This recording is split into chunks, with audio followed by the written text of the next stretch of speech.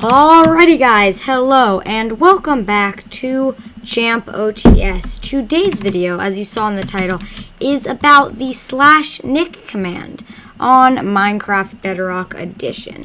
So basically, the um, slash nick command on um, Bedrock Edition is not does not work as well as everyone would like it to.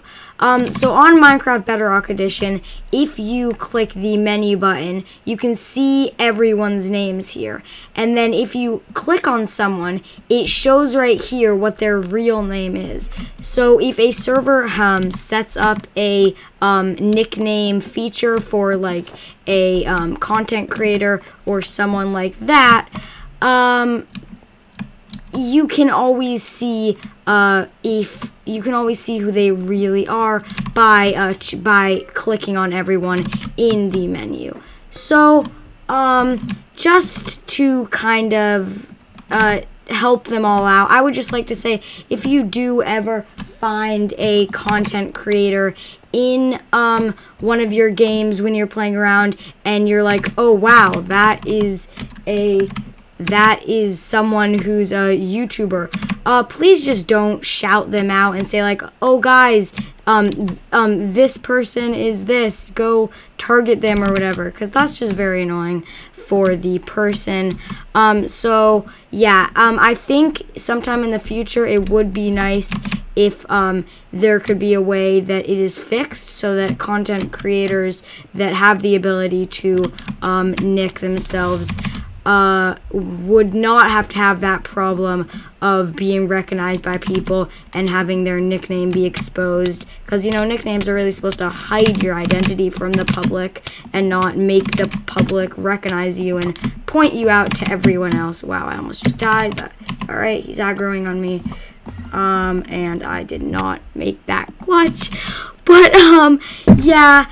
Um, so that's basically all. This is not supposed to be a very long video, but just that if you do see a, um, a person who is a YouTuber or um, someone just please don't expose their nick. Um, I think in the future, if um, Mojang or who, who whoever um, whoever's coding this, uh, it would be great if they could change it. Cause like I I, I know many people like to, including me, like to check if someone's nicked. But I just never say out loud because on um, many servers, including this one, The Hive, it is bannable to expose a content creator's nick. Um, and it just is kind of annoying. And, and I completely understand that, and so that is why I do not expose nicks when I see them. Um, so yeah, um, that is really all I had to say, guys. Um, I know this was a very short video, but um, I guess thank you guys very much all for watching. Um, hopefully, Better Bedrock Edition can fix their nicking system as soon as possible.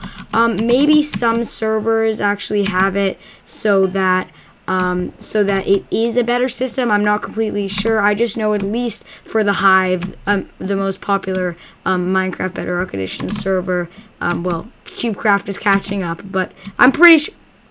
What the heck? Okay, how did I just get two knockback? Okay, that's okay.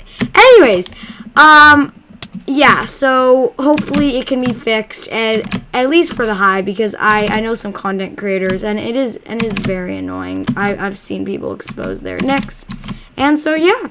Other than that, guys, thank you guys very much for watching this video. I hope you guys enjoyed. If you did, and you haven't not already smashed the like button and um, uh, subscribed, that would be amazing if you could do that. And, um, yeah, guys, have a good one. Bye.